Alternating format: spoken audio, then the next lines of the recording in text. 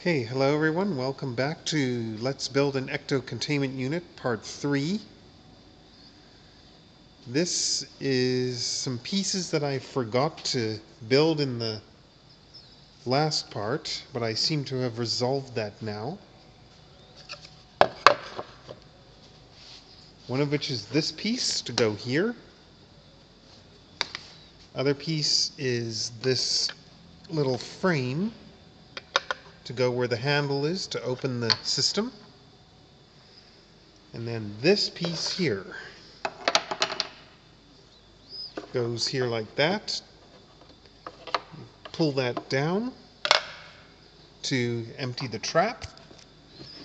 And I put the two stops on there to only let this piece move like that. And tomorrow, I'm going to start sanding these pieces and hopefully get it ready to be painted soon. So we're on the home stretch. And I will see you in the next part.